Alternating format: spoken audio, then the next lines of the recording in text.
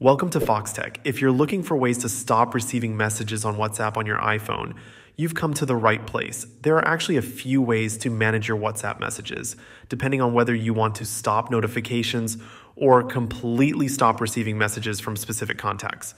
Today, I'll walk you through all the options so you can choose what works best for you. Let's start within the WhatsApp app itself. Open WhatsApp on your iPhone and tap on Settings in the bottom right corner. From here, select Account and then tap on Privacy. This is where you can block specific contacts. Just tap on Blocked and then Add New to add anyone you want to block from sending you messages. Once blocked, they won't be able to contact you on WhatsApp at all. But if you don't want to go as far as blocking someone, you have the option to mute them instead. Go to your chats, swipe left on any conversation, tap More, and select mute.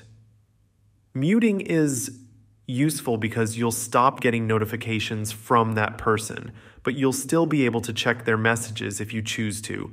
If you want to go a step further and silence all WhatsApp notifications, you can do this from your iPhone's main settings. Open Settings, tap on Notifications, and then scroll down to select WhatsApp. Here, toggle off Allow Notifications, and you won't receive any alerts for new WhatsApp messages. This option is great if you want to keep your WhatsApp account, but just don't want to be disturbed by message alerts.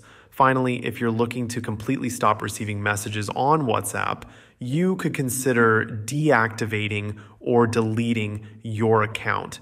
This is a more permanent solution. So only use it if you're certain you no longer want to use WhatsApp. You can find this option in WhatsApp's account section under settings, and it will ensure that no one can reach you on WhatsApp anymore. And that's it. With these steps, you can manage or completely stop receiving messages on WhatsApp depending on what works best for you. Thanks for watching.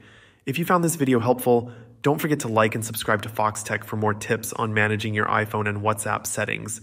See you later.